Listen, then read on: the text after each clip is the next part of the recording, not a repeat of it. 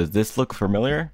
It's what appears on your oscilloscope when your probe is left ungrounded, though it may look a bit different depending on where you live.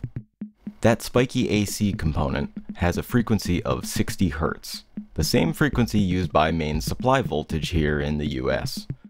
Yep, this 140 millivolt peak-to-peak signal is being generated by my wall power here.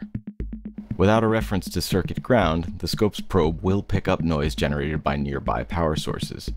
So consider seeing this signal a reminder to please connect your ground clip. Much better.